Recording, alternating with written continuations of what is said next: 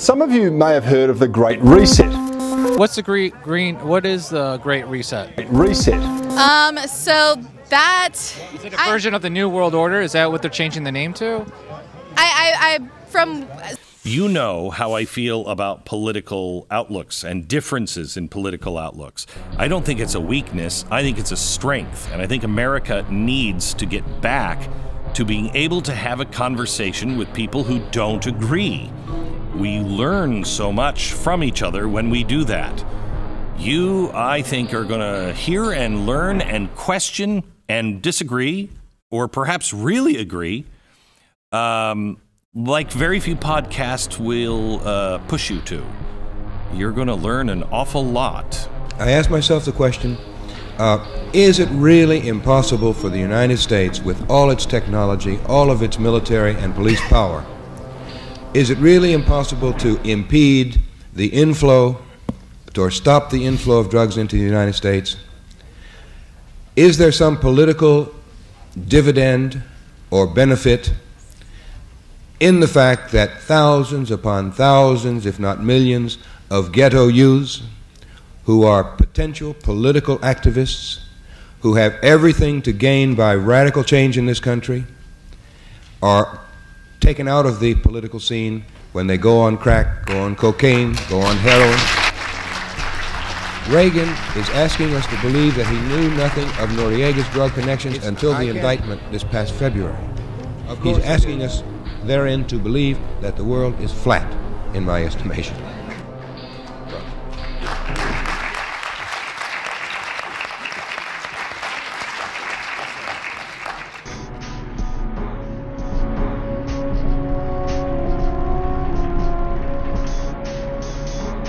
They're all sacred. What we need to do is present comparative religion as a bunch of interesting historical anecdotes. And then, and, and, and show the silly reasons why they reached, did what they did. But absolutely, instead of shying away from it, we have to explicitly educate people uh, to, to confront their own misconceptions. I think that might be a century away. I think in the interim, we, at least if we learned about each other, we would be less likely to want to kill each other. Well, you know, when you said It's a generation, it's gone. One generation is all it takes. So I can tell you that, you know, a generation ago people had said there's no way that people would allow gay marriage, okay? And, and slavery, essentially a generation got rid of it. And so all you have to do, it's, change is always one generation away. And we have the children, and exactly. So if we can eh, plant the seeds of doubt in our children, religion will go away in a generation, or at least largely go away. And that's what I think we have an obligation to do. An illusion it will be, so large, so vast, it will escape their perception. Those who will see it will be thought of as insane. We will create separate fronts to prevent them from seeing the connection between us. We will behave, behave as if we are not connected to keep the illusion alive. Our goal will be to accomplish one drop at a time so as to never bring suspicion upon ourselves. This will also prevent them from seeing the changes as they occur. We will always stand above the relative field of, the, of their experience, for we know the secrets of the absolute. We will work together always, and will remain bound by blood and secrecy. Death will come to he who speaks. Why does anyone, for a single moment, believe anyone who uses language in a mangled form like that? I heard Marian Anderson do it. I heard Jose Feliciano sing his Puerto Rican version, and Jimi Hendrix and Whitney Houston. Yep. And the idea is if you want to get rid of the culture of this country, you're going to need laws and rules. You can kiss your freedom goodbye, right? It doesn't matter. The key point is the culture of the United States of America. And as I said recently to Saagar, you can kiss your freedom goodbye. And what I love about this country is, is that I, I'm absolutely free to burn a flag in protest. Tending to do the opposite. We will use our knowledge of science and technology in subtle ways so they will never see what is happening. We will use soft metals, aging accelerators, and sedatives in food and water, also in the air. They will be blanketed by poisons everywhere they turn. The soft metals will cause them to lose their minds. We will promise to find a cure from many of our fronts, yet we will feed them more poison. The poisons will be absorbed through their skin and mouths, and they will destroy their minds and reproductive systems. From all this, their children will be born dead, and we will conceal this information. The poisons will be hidden in everything that surrounds them and what they drink, eat, breathe, and wear. We must be ingenious in dispensing the poisons, for they can see far. We will teach them that the poisons are good, with fun images and musical tones.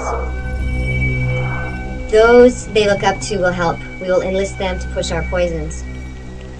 They will see our products being used in films and will grow accustomed to them and will never know their true effect. Assume all of your worst nightmares are true. I have zero desire to do it. You began around a system of truths that were excluded from the gated institutional narrative. That was your seed corn. Assume that you have an incredibly talented intelligence complex that indulge your wildest crazies. Donald Trump, Justice Roberts is part of a pedophile conspiracy. Right. Go go full QAnon. Let me tell you something that I'm very very clear on.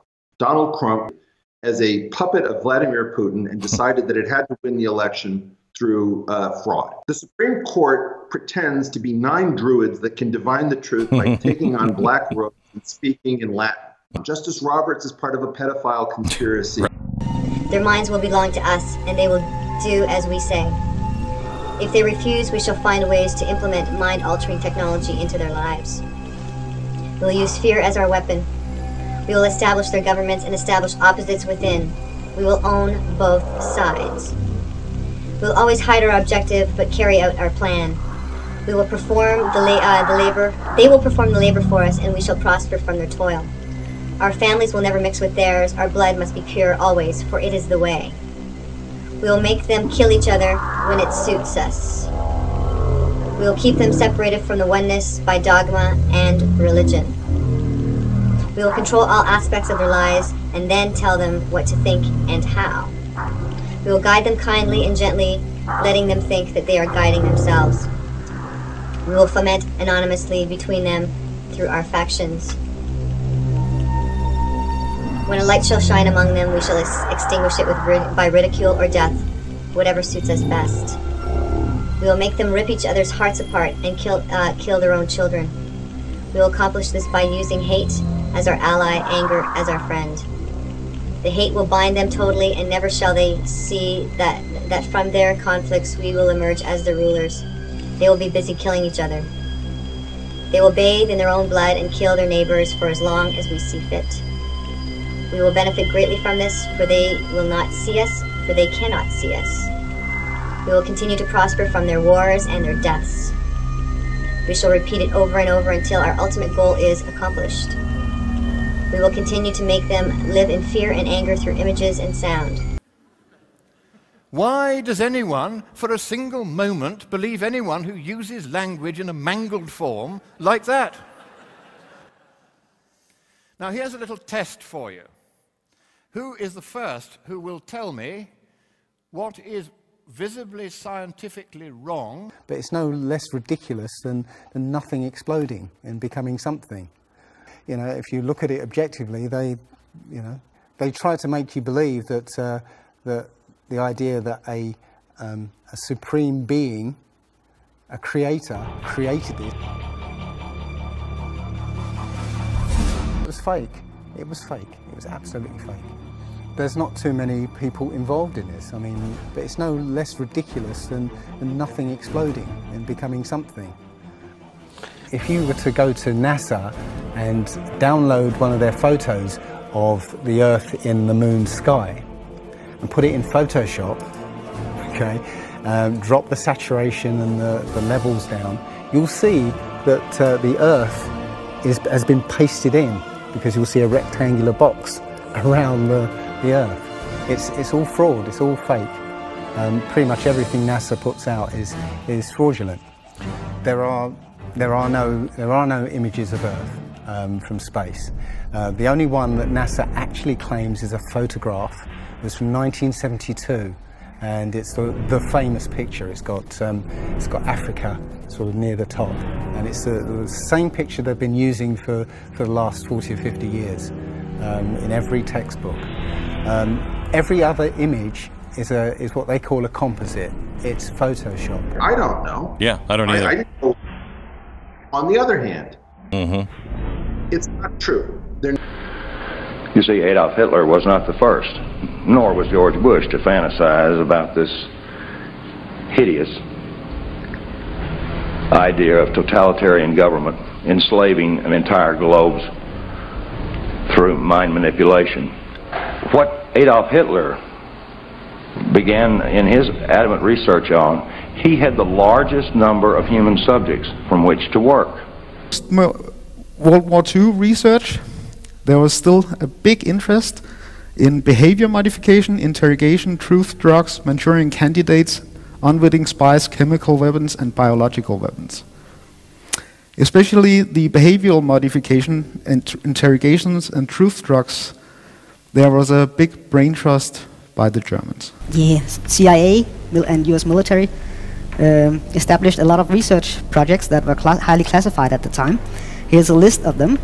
Most people have heard of MK Ultra, uh, but there was a whole list of other projects. I'll just skip very qu quickly through them.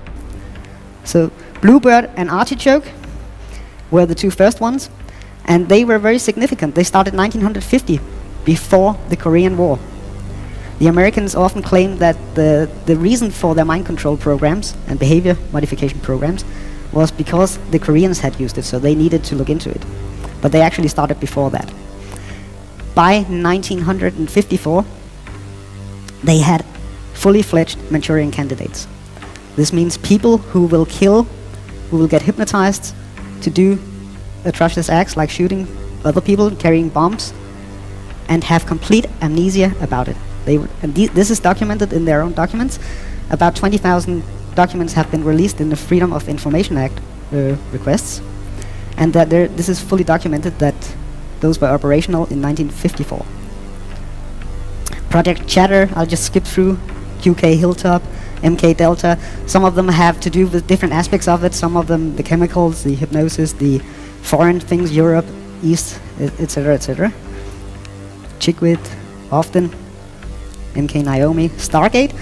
Sleeping Beauty is a project that was not confirmed. It's referenced in other documents, but all Freedom of Information Acts uh, are denied, and it has to do especially with remote influencing with the electronic signals. MK Ultra and MK Search were umbrella projects. That's why they are the most known ones. MK Ultra had 149 sub-projects. And that was a, all kinds of different experiments. The MK Ultra program, also some of the sub-projects had to do with electronic implants. Sub-projects 61, 129, 94, and 142. In the 1960s, Professor Jose Delgado took a normally hostile bull and implanted electrodes into its brain. Electrodes that could be activated by a radio transmitter.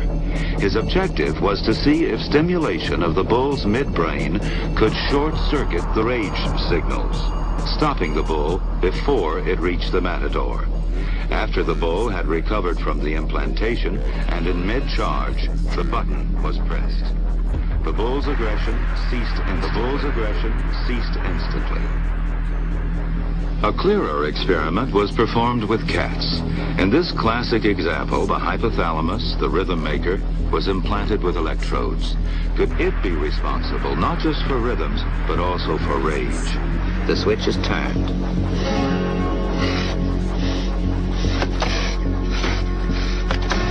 Then the switch is turned off. So indeed, the hypothalamus does control certain types of aggression. As one of them told me who was involved in this, he said, we didn't want to do it on, on housewives in suburbia. We chose the people in society who could offer the least resistance and who would be least likely to expose it, or if they did expose it, it would be least likely to be believed. Thousands of government-sponsored experiments did take place at hospitals, universities, and military bases around our nation. Some were unethical, not only by today's standards, but by the standards of the time in which they were conducted. They failed both the test of our national values and the test of humanity. The United States of America offers a sincere apology to those of our citizens who were subjected to these experiments, to their families, and to their communities.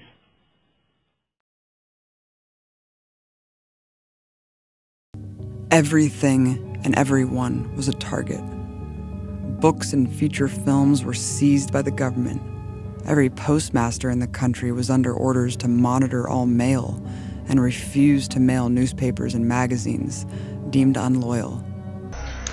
In 1971, a group called the Citizens Committee to Investigate the FBI created an, an incredible act of civil disobedience and broke into an FBI office. And they stole a bunch of dockets, uh, documents because they were willing as patriots to pay their freedom to expose the fact that the FBI was out of control. And that turned into the Church and Pike committees in the mid 1970s. And for the first time, we investigated our own television services and found out the United States government was illegally harassing and assassinating American citizens who were trying to behave politically in a way that was anathema to JFK. Mm-hmm. What we need to do is to look at the leader of that group. I believe his name was William Davidon, a student of Ree Gelman and a professor of physics at Harvard. Those guys, disciplined, organized, they found the word COINTELPRO, they created FOIA requests, they forced, I believe the New York Times wouldn't run their findings, and they forced the Washington Post to have to investigate us. Right now, we need a redo of the Church and Pike committees so that we know what our intelligence are Yep. up to. We need to inflict people who are actually progressive inside of center left media, which is demonizing everybody. All of these people in the 1940s are going away as a father time. They don't have much time left on this planet. And we are going to have to figure out how to unseat them legally. And with apologies to Malcolm X, we need to remove them by any legal means necessary. I apologize for the word legal, but it really does matter. What we need to do is to recognize that Magistan and Wokeistan are two cults founded on reality. There really is structural. There really is a denial of reality by center left media. We have entered non reality, and we are a thermonuclear nation with responsibilities to the entire planet. You too have responsibilities to the planet. This is a thermonuclear situation. Yes, your, your history has been denied, just as my history is denied. Just as everybody who understands Howard Zinn's history has been denied. But on the other hand, and a 78 year man, man uh, a white guy, threw an elbow sucker punching a black protester being led out of an arena. Socialism has spread the shadow of human regimentation over most of the nations of the earth. And the shadow is encroaching upon our own liberty. If a person defends the activities of communist nations while consistently attacking the domestic and foreign policy of the United States, she may be a communist. Now that you've become acquainted with the enlightened communist system, in contrast to the outdated capitalistic way of life, you are now prepared for the next step of your indoctrination. You won't have to worry about next year. The state will do your planning from now on. Then We'll overthrow it by force and violence. We'll have our way if it means bloodshed and terror. Because the news about communism is getting around. And it's only another word for slavery.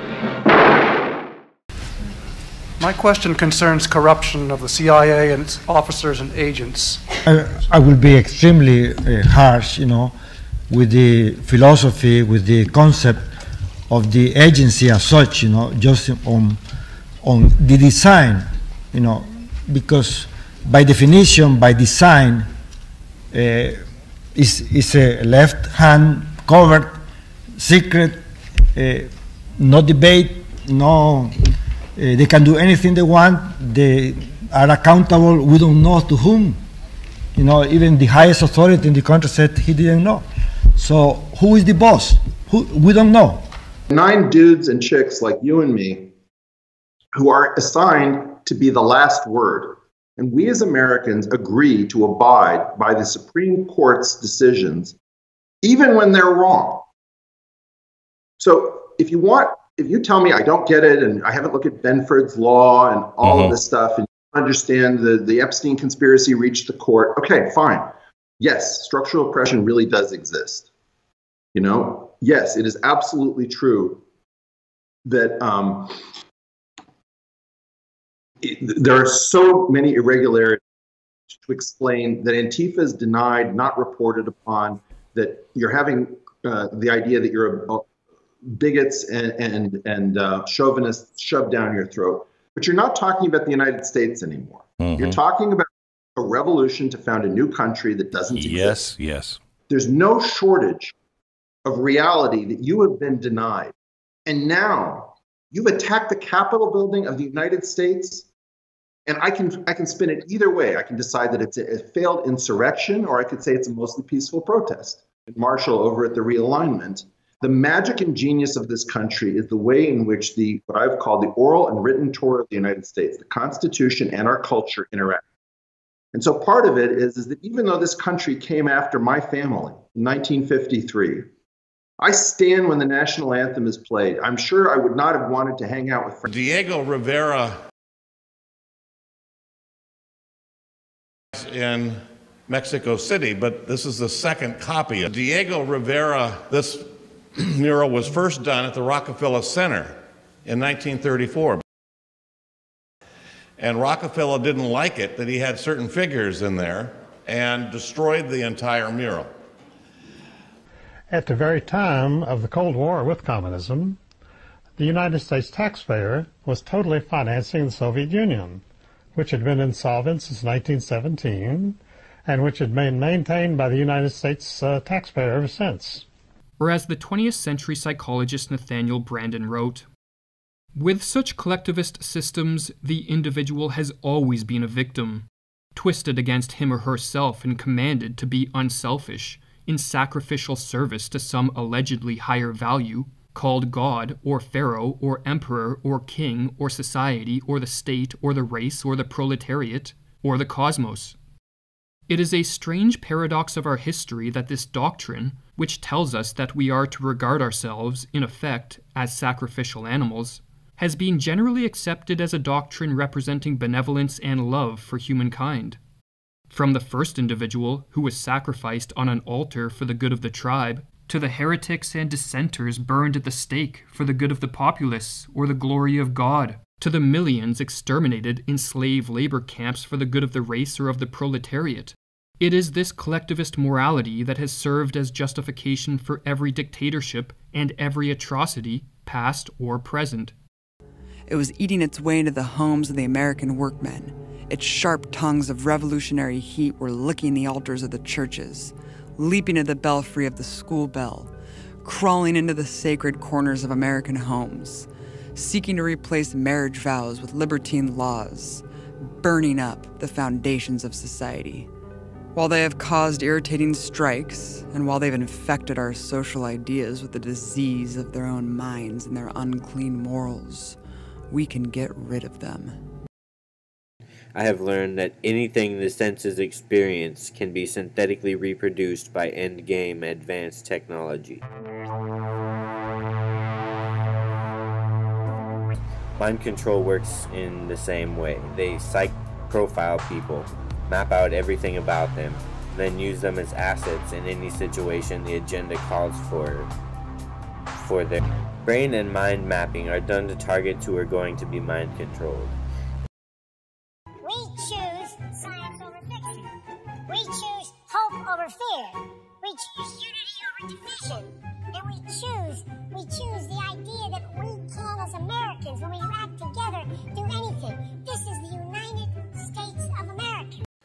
Those aren't my words.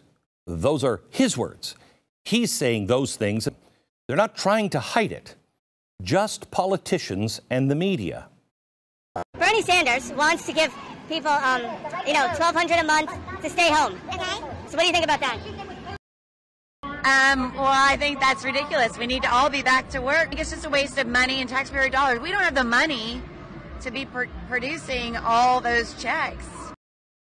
So what do you think about Trump's plan to pay everyone twelve hundred dollars to stay home? To stay home, I think I would rather him open up the the uh, the country, but if that's what we need to do, I, I really like the idea that he's going to pay us. That, that's a good one. Yeah, I like it too. yeah. Yes? By order of the Prince of the world, all peoples shall report for the universal census. We have to let them know who we are.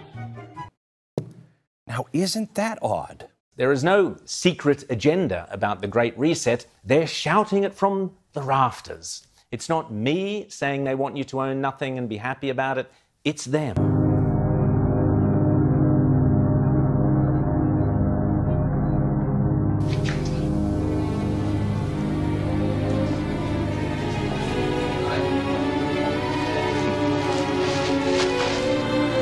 From Joshua Nowicki.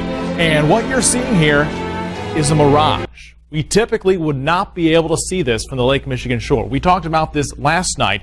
Conditions are right on the lake that we're actually seeing a mirage of the Chicago skyline. Um, but they always say it's a mirage, but um, for a mirage to happen, you have to have very specific atmospheric um, conditions.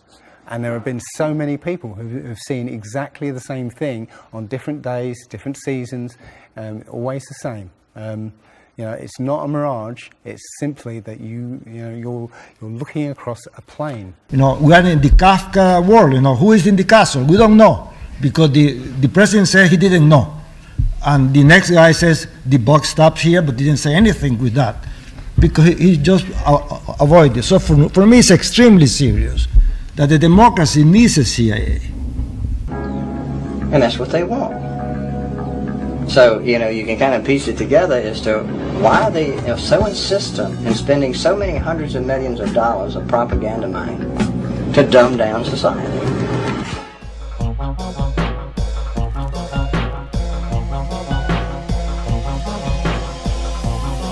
The NSA's Signals Intelligence is a program to remotely monitor magnetic fields created by electrical signals. And this applies to remote neural monitoring, aka thought surveillance. I am unsure what percentage of the population is under remote neural monitoring. And this is a, a factor, as I say, which every CIA trainee learns at the beginning. well, the purpose of these covert action operations was to affect events in a given country.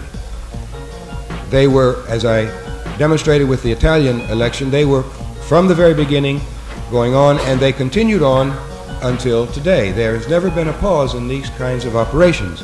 And under the Reagan administration, of course, they've been very uh, strongly emphasized and given generous funding around the world.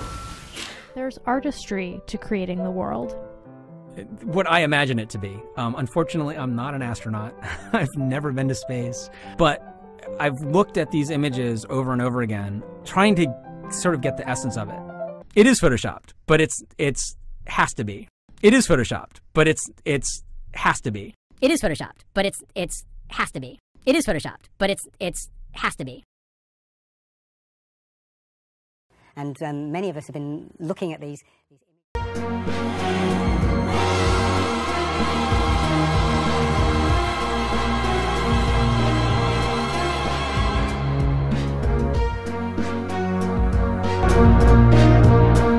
By telling their secrets, their power is eroding.